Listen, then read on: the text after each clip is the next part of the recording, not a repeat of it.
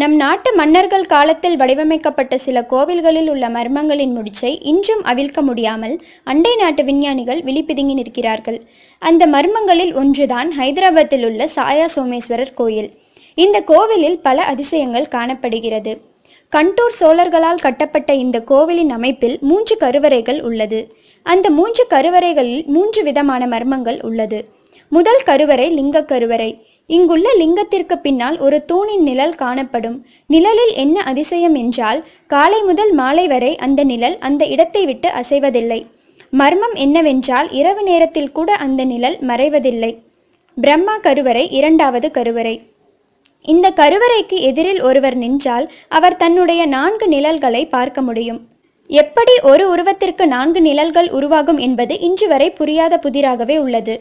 லிங்க கருவறை இது மூன்றாவது கருவறை. இந்த கருவறைக்கு எதிரில் ஒருவர் நின்றால் அவரது நிழல் எப்பொழுதும் அவருக்கு எதிர் திசையிலேயே விழும் அதிசயம். நிழல் எப்படி எதிர் திசையிலே விழும் என்பது ஆராய முடியாத ஒன்றாகவே உள்ளது. கோவிலின் பெயர் காரணம். சாயா என்றால் நிழல் என்று பொருள்படும். அதனால்தான் அக்காலத்திலே பொருளோடு தொடர்புடைய காரணப் பெயராக இந்த கோவிலிற்கு சாயா சோமேஸ்வரர் என்று பெயர் வைத்துள்ளனர்.